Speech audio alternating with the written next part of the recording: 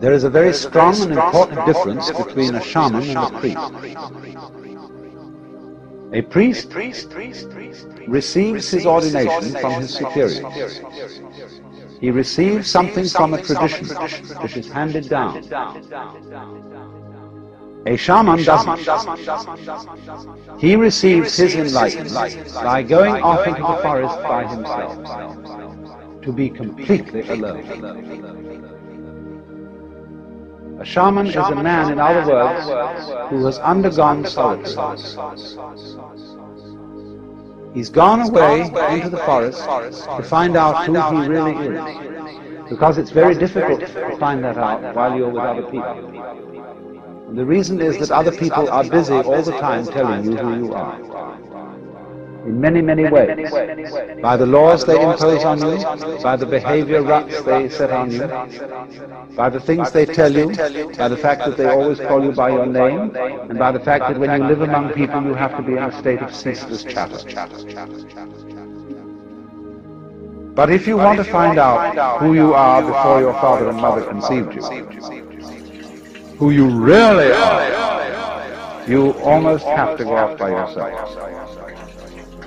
Go into the forest and stop talking, even stop thinking words, and be absolutely alone.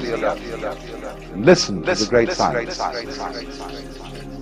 And then, if you're lucky, you recover from the illusion that you're just little me, the so-and-so, and you attain the state of nirvana, which means the blown out state, the relieved state, sigh of relief. Nirvana may be translated into English as phew.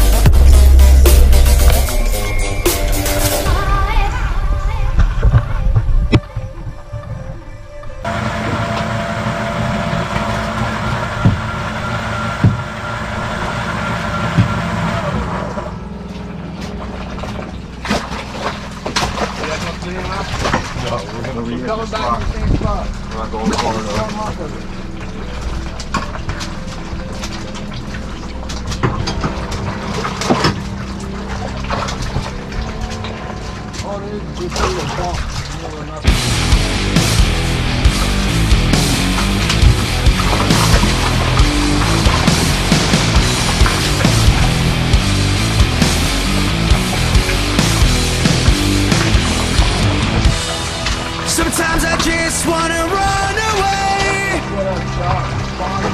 Run away. Run away. I only wanna disappear.